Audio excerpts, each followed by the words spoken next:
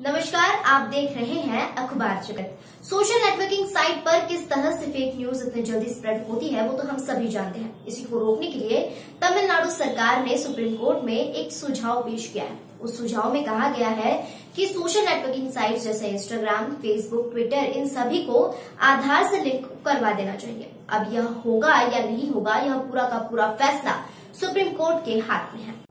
इस विषय में सोमवार को तमिलनाडु सरकार ने सुप्रीम कोर्ट से कहा कि मीडिया प्रोफाइल्स को यूज़र्स की आधार लिंक से जोड़ना चाहिए, ताकि कोई भी व्यक्ति फेक प्रोफ़ाइल बनाकर आतंक से जुड़े मैसेज या पोर्नोग्राफी फेक न्यूज़ जैसे कंटेंट को शेयर न कर सके, और किसी के द्वारा ऐसा किए जाने पर उस व्यक्ति की पहचान की जा सके।